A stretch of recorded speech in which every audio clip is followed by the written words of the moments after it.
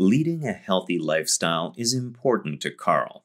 He's recently started making some changes to help feel healthier.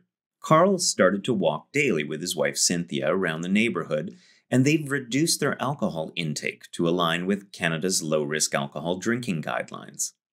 They were recently with another couple who spoke about their new vegetarian diet. Carl and Cynthia started to do some research into transitioning to a vegetarian diet and want to speak with their doctor about whether or not this would be a good fit for them to continue to lead a healthy lifestyle and potentially lose weight. There's no question that maintaining a healthy weight is good for you. Being overweight or having obesity increases your risk of numerous health conditions, including high blood pressure, diabetes, heart disease, stroke, sleep apnea, mental illness, and cancer. Losing weight and keeping it off is no easy task. Knowing where to start is particularly difficult. There are many diets and food products marketed as the key to weight loss, good health, or sport performance. However, they may not work or be healthy for you. In this video post, we'll be focusing on vegetarian diets, in particular, what the evidence says about their potential role in weight loss or added health benefits. We've asked Dr. Megha Poddar to talk about vegetarian diets and its impact on health and weight loss. Dr. Poddar is an endocrinologist with additional training in obesity medicine. She's an adjunct assistant clinical professor of internal medicine at McMaster University and clinical director of the LMC Weight Management Program. She's a co author of the 2020 Canadian Adult Obesity Guidelines. Dr. Poddar's clinical practice and research is focused on general endocrinology, and she has a keen interest in helping patients with obesity, type 2 diabetes, and other metabolic disorders. Can you talk a little bit about vegetarian diets? Yes, absolutely. And I'm glad that we're actually having a conversation on this topic because vegetarian diets are becoming more and more common. Uh, they can be part of a healthy and active lifestyle, just like any other diet or nutritional regimen.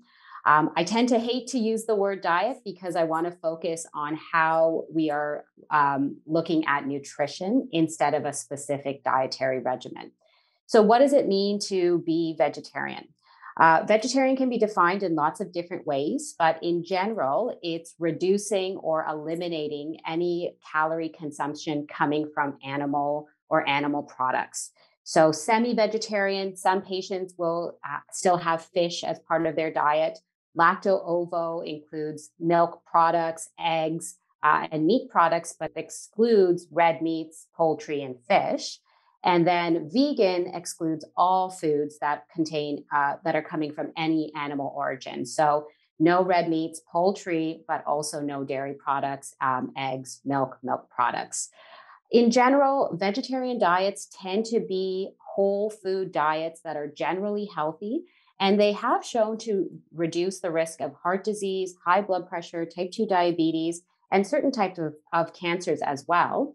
In some situations, they can help to control weight, but certainly not in all.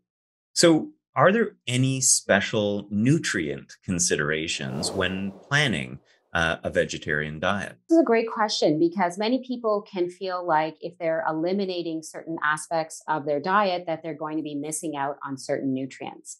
But the reality is, with vegetarian diets, as long as you're eating a variety of foods and getting all of your different food groups in, uh, then there are very few additional supplemented nutrients that you need to consider when t- undertaking a vegetarian diet. A few specific micronutrients that I would point you to is calcium and vitamin D.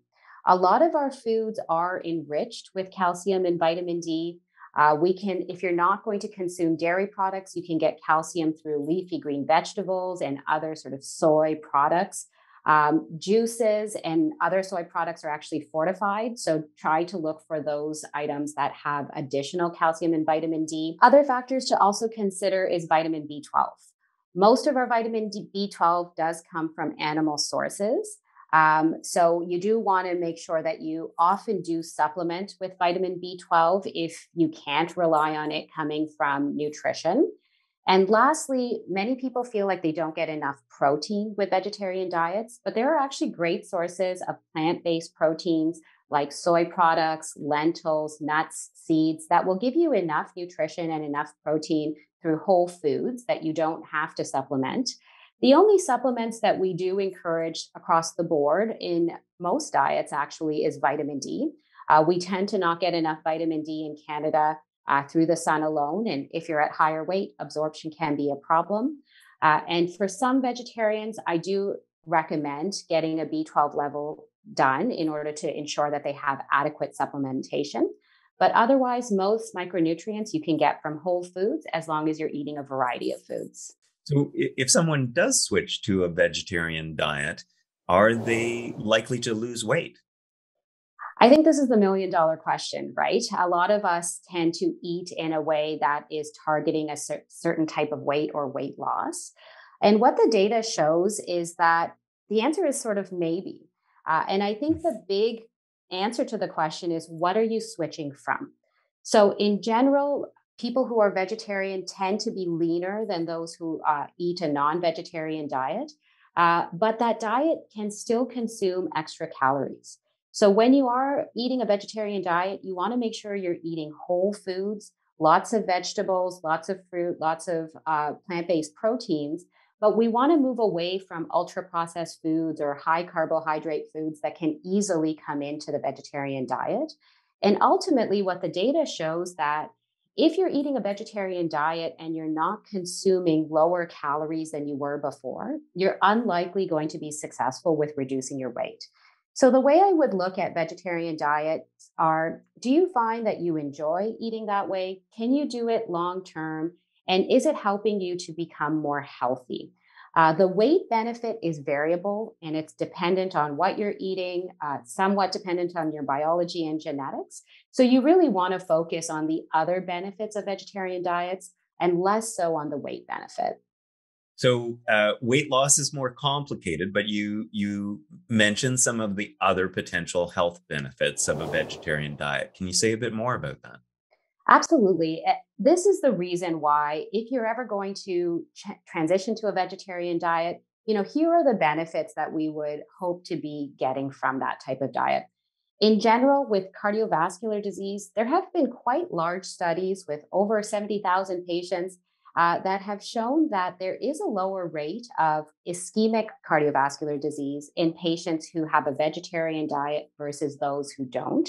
So there may be some benefit at reducing heart disease. Along with that, some of the risk factors of heart disease, like blood pressure, type 2 diabetes, uh, and weight in general, uh, we see that often patients who undergo a vegetarian diet tend to have lower risk of these health issues.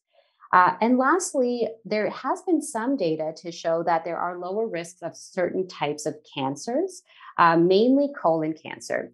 Now, it's debatable as to why that lower risk is there. It may perhaps be due to higher fiber content in vegetarian foods in general. Uh, and you can get higher fiber, content by eating a variety of different diets.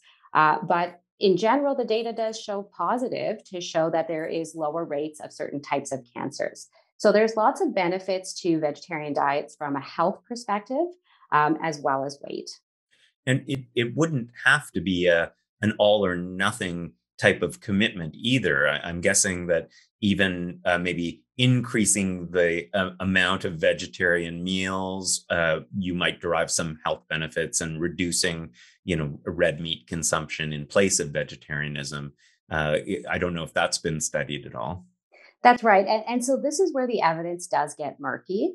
Uh, because our trials that are being done on nutrition are very difficult to do. You can imagine people are eating all different types of foods, and it's hard to isolate what the actual cause and effect are.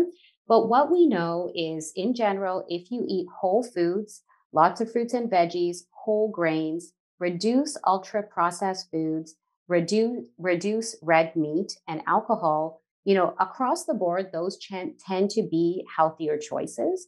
However, you want to decide um, that you're going to be eating long term, I would think about those few aspects of your nutrition to decide what kind of diet suits you best. So, are there any special considerations around adopting a vegetarian diet for older adults?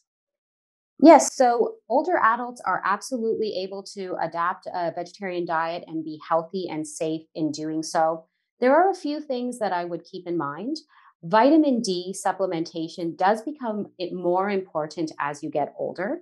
So, you want to make sure that you're getting enough vitamin D and calcium from your foods. And truthfully, probably supplement with a thousand units of vitamin D uh, per day, which is recommended for all elderly adults, regardless of the diet.